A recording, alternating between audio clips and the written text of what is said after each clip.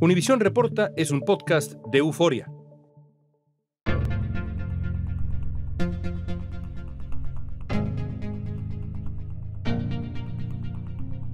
Mañana tendremos elecciones de medio término en Estados Unidos. Se renueva la Cámara de Representantes, una tercera parte del Senado y hay muchas contiendas más. En los últimos meses, factores como la inflación o el derecho al aborto han impactado en la preferencia de los votantes y las proyecciones no son del todo claras aún a esta hora.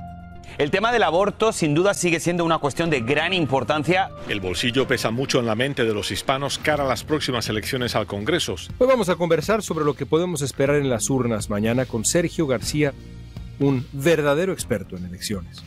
Vamos a ver cómo se perfila el voto latino, cuáles serán los estados clave y cuáles son los temas urgentes que finalmente van a influir en los resultados.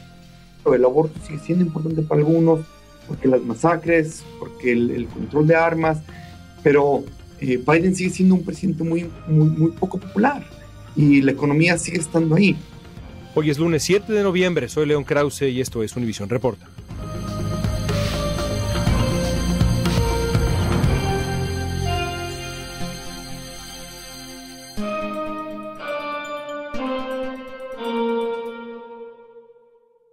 Sergio García es director asociado de investigación del Centro para el Estudio de la Raza y la Democracia y se ha especializado en analizar la participación electoral y política, especialmente de los latinos. Sergio, llevamos ya un buen tiempo en Univisión Reporta tratando de entender ¿Cuáles son los factores centrales de esta elección? ¿Cómo ha cambiado la narrativa de esta elección, por ejemplo, con la decisión de la Suprema Corte en función del derecho al aborto, eh, eh, la inflación, el estado de la economía, el costo de la gasolina, es decir, todos estos factores que están flotando en el aire y que afectan el humor del electorado en Estados Unidos han ido y han venido para afectar de manera distinta las encuestas en este momento que estamos haciendo contigo nuestro último corte de caja antes de la elección de medio término de noviembre, ¿cuáles son los factores? Tú como profesional de la encuesta, como observador profesional, los factores que van a determinar esta elección. Creo que a fin de cuentas terminará siendo la economía. Y bueno, habrá, este, existe la frase esa muy famosa, ¿no? Al final de cuentas es la, la economía. Habrá quien se, encuentre todavía motivado con cuestiones del aborto, habrá quien todavía recuerde cosas de inequidad racial y todos estos temas que en algún momento parecieran haber movido la balanza en las encuestas y la movieron. En algún momento eh, los demócratas vieron resurgir con la cuestión del aborto. Si las elecciones hubieran sido ese mismo mes, la siguiente semana, 15 días después, hubieran tenido eh, muchas más posibilidades. Las encuestas nos vienen mostrando en este momento es que ese tema se va quedando atrás. Se va quedando atrás y lo que el, votante en todo el país eh, enfrenta día a día es el precio de la gasolina, es el precio de ir al supermercado, el precio de vivir.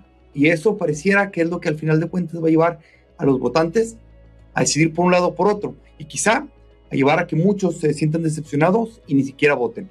Creo que esta va a ser una elección de quién termina siendo movilizado.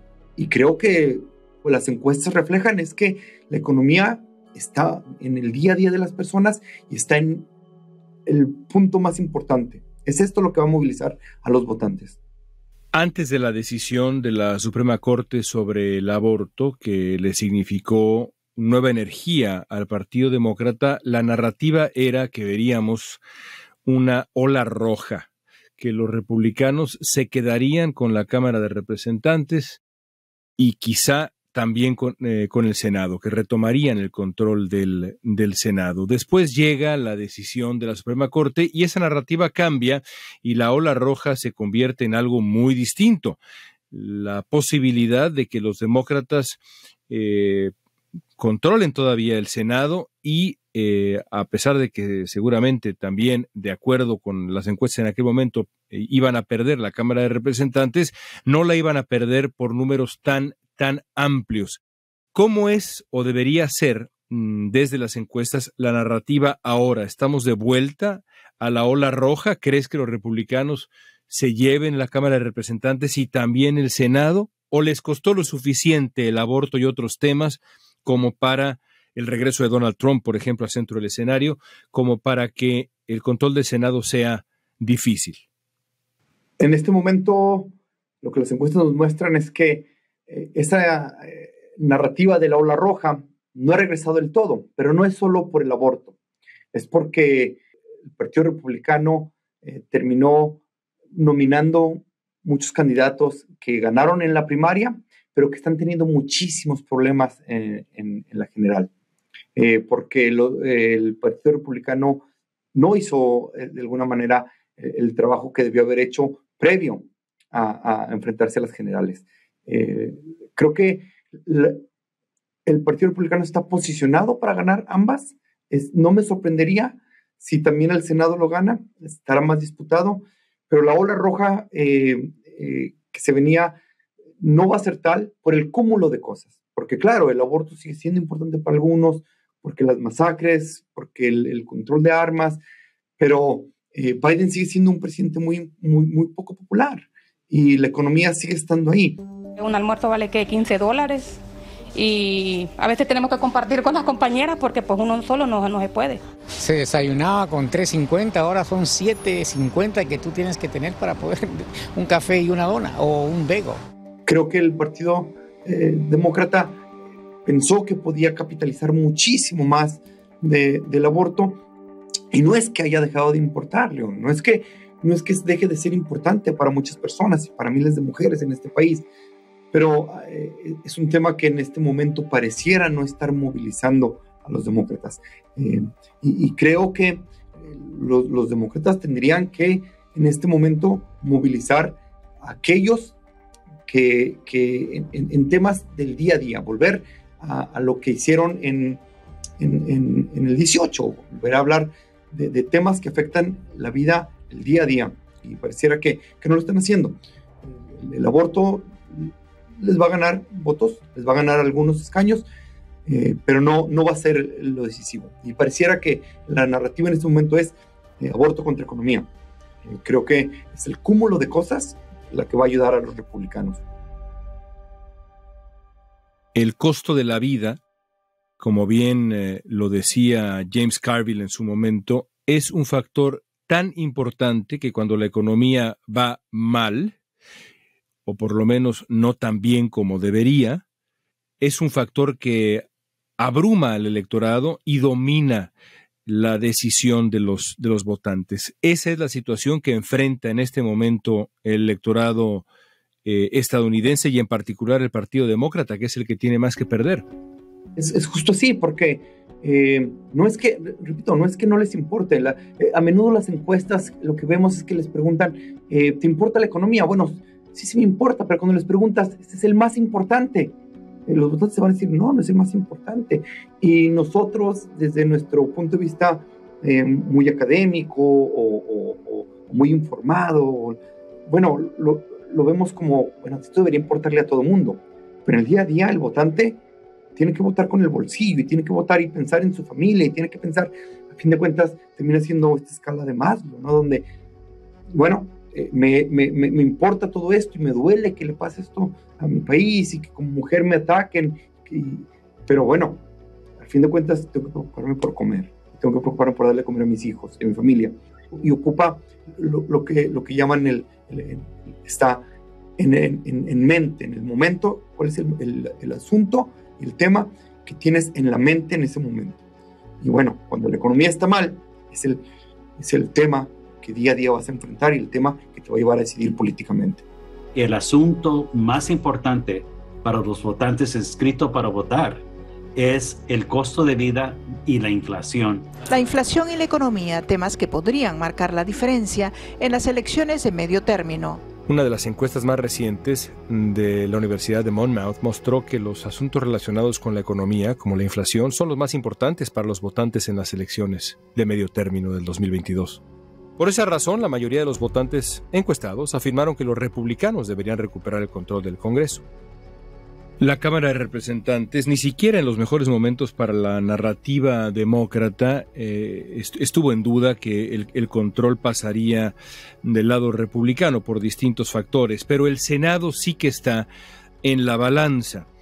Eh, ¿Cuáles son los estados que la noche de la elección eh, recomiendas a los escuchas de Univisión Reporta que sigan como, eh, la, eh, como estados clave, estados fundamentales, donde se va a decidir el futuro del control del eh, Senado.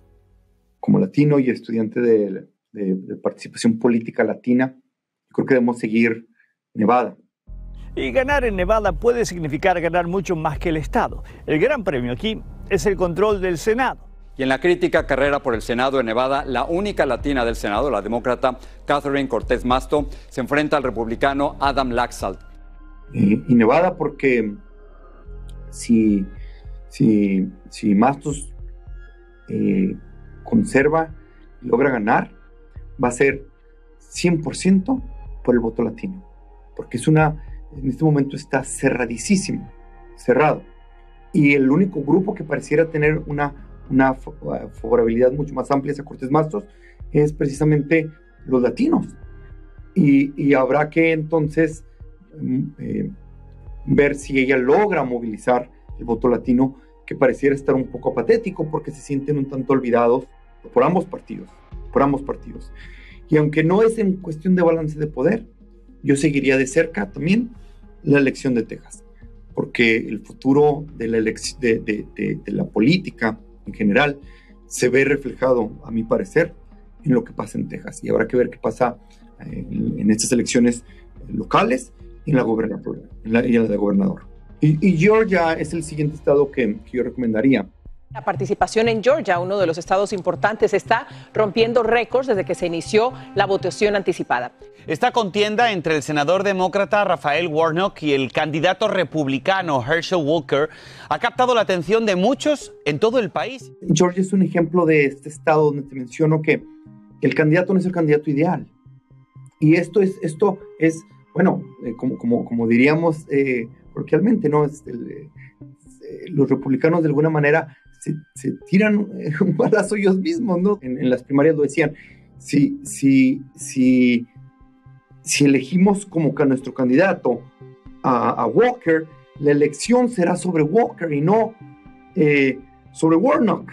Es decir, vamos a terminar hablando de todos los, los debates y las cosas, todos los rumores de, Walker. Y, y, y, este es el error que, que podemos terminar llevando. No tanto el aborto, sino estos candidatos que cobijan, em, eh, abrazan la ideología de Trump, pero que ya en una elección general no son bienvenidos todas estas narrativas. Al volver veremos cómo se perfila el voto latino en esta elección.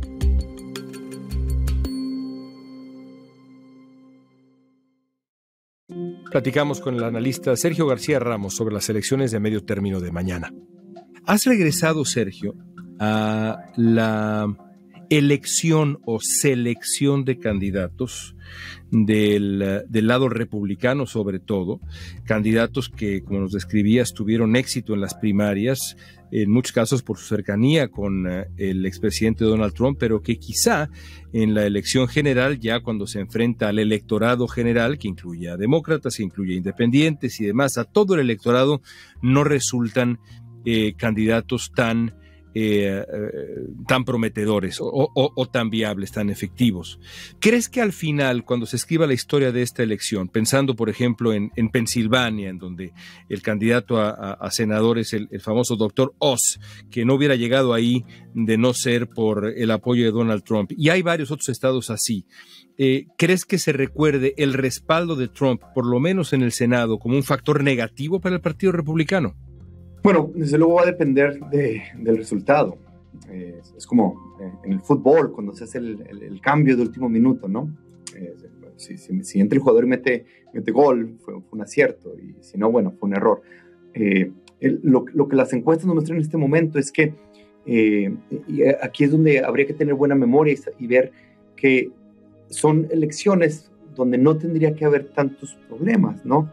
Una de las disputas más reñidas de estas elecciones de mitad de mandato es la de Pensilvania. Mehmet Oz eh, quiso pintar a John Fetterman como, una persona que eh, no, no, tiene buena salud, no, no tiene la capacidad de, de, ser el senador de Pensilvania. Donde Oz, donde, donde Walker, quizá eh, es, no hubieran, si hubiera sido otro candidato, las elecciones estaríamos hablando de algo completamente diferente. Pero aún y si ganan, creo que hay que tener memoria, memoria política y memoria estadística, donde vemos que el efecto de Trump mm, es muy diferente en las primarias y muy diferente en la elección general. Entonces, habría que recordar, sí, eh, en base al resultado, porque eso comprobará si, si era el candidato acertado o no, pero no hay que olvidar que a fin de cuentas, en, bajo esta economía, con un presidente tan impopular y... con la tendencia histórica, Sergio, porque en la tendencia histórica... Exacto, cada ciclo eh, de mediado turno, el presidente, el partido del presidente pierde, pierde votos, sea cual sea eh, el, partido. No tendría por qué estar viviendo esto. Entonces, tanto si ganan los demócratas o si, o si ganan los republicanos, hay que recordar que es el cúmulo de todo esto y que las primarias nos dejan en este, en este estado donde las cosas no tendrían por qué estar tan complicadas para los republicanos. Sondeos recientes llevados a cabo por la Asociación Nacional de Funcionarios Latinos Electos y Designados, NALEO, muestran que los demócratas siguen gozando de un apoyo considerable entre el electorado latino pero los porcentajes han disminuido por el acercamiento al Partido Republicano en algunas zonas. En Texas, por ejemplo, hay tres candidatas republicanas hispanas en el Valle del Río Grande y las tres han recibido el apoyo del expresidente Trump y de otros líderes que apoyan políticas duras contra la migración, entre otras cosas. No, hablemos ahora de el, del voto hispano, que es fascinante. Eh, es fascinante siempre, pero en esta elección me parece que lo es todavía más. Y hablabas de Texas. En Texas, de nuevo, la narrativa desde hace ya un buen tiempo, en función del voto hispano, es que los hispanos están dejando al Partido Demócrata y acercándose cada vez más al Partido Republicano. Eh, eh, ¿Eso es lo que tú ves desde la, desde la aplicación de encuestas, desde los eh, datos duros? ¿Es lo que tú ves? Sí, pero hasta cierto punto. es sería difícil entender las encuestas como las vemos hoy eh, sin tener también un poco de, memoria. Es decir, siempre ha habido un porcentaje de 30, 35% de latinos que votan en republicanos. Y eh, hay que recordar que los latinos han tenido históricamente problemas afiliándose a la narrativa global total de un partido u otro. La ideología de ambos partidos se creó sin los latinos en la conversación. Y entonces al latino no le quedó otra más que escoger el que podría alinearse más en ese momento históricamente. Y durante mucho tiempo lo ha sido el Partido eh, Demócrata. Pero el votante latino eh, se vuelve un votante sofisticado, que también puede observar eh, qué cosas tienen un efecto grande en mi vida? ¿Qué cosas me van a llevar a tener un mejor día a día? Y si en ese momento podríamos estar de desacuerdo o de, acuerdo, pero a fin de cuentas, si el votante piensa que, reactivar la economía después de COVID era lo más sensato, eh, bueno, si esa es la propuesta republicana, yo que no tengo trabajo en este momento voy a votar por ese partido. Y sí, está lo de la inmigración y está todas estas cosas que, Trump trajo a la luz, que siempre existieron, pero que parecieran más visibles con Trump. Bueno, al, votante latino también le va a interesar ese día a día del que hablamos del, votante general. Hace unos días, Sergio, eh, presentamos en Univisión con, ustedes, con tu equipo, encuestas eh, y análisis interesantísimos sobre el voto latino en Nevada y en Texas. Y me llamó mucho la atención que eh, lo que ustedes encontraron confirma pues esa sofisticación del votante hispano, pero también la, la idea de que al final de cuentas quien insista en ver al votante hispano como obsesionado con el tema de la migración o insista en ver al votante hispano como obsesionado con asuntos que tienen que ver con los valores, están equivocados porque lo que más le importa al votante hispano en este momento por lo menos es la economía.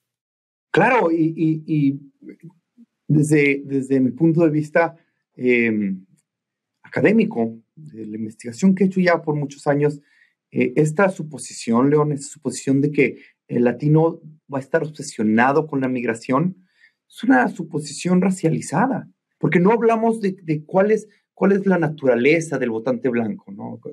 Pero sí, pero sí nos preguntamos, el, el latino naturalmente debería votar demócrata. Eh, al inicio de la conversación, decíamos, bueno, en este momento al votante le va a importar la economía. Pues también al votante latino le va a importar la economía. Entre los latinos de Nevada, la inflación sigue siendo el tema principal, los costos de salud se sitúan en segundo lugar y los empleos pasan al tercer lugar. La inflación hará que los latinos en Texas voten en estas elecciones por su bolsillo y no con el corazón, según una encuesta hecha por Univision. Pero atención, no quiere decir que la inmigración no importe. Y, no quiere decir que el aborto no importe, porque la encuesta muestra que, importa y que, que, les preocupa y que quisieran que se hiciera algo al respecto. Y claro, en un, lugar como Texas, el, votante latino va en dirección completamente opuesta de donde va la mayoría de los votantes, que es el votante blanco. El voto blanco va en, dirección opuesta de donde va el, votante latino. Y al fin de cuentas, eh, podría estar moderado en comparación a otros votos latinos, pero no le alcanza, a pesar de tener tanto peso, ya casi un cuarto de los votantes eh, en Texas son latinos, aún no le alcanza para contrapesar eh, esa tendencia que va completamente en eh, oposición directa. ¿Cómo afectará?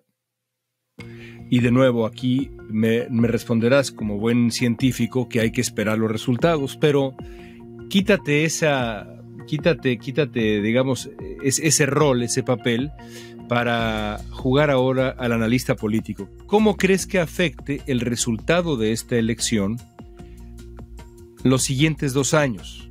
Sobre todo pensando en el 2024. Eh, si los demócratas finalmente pierden la Cámara de Representantes y logran mantener por poco el Senado, ¿qué le hace eso a la figura del presidente Biden? ¿Qué le hace eso a la figura del expresidente Trump?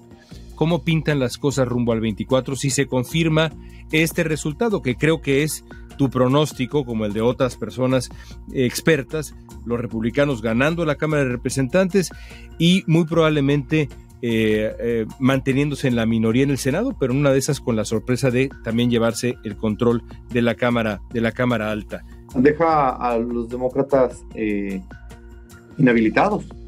La administración de Biden ha tenido eh, problemas controlando su propio partido. Eh, no, no han logrado pasar eh, ninguna legislación en realidad por acuerdos de uno o dos senadores.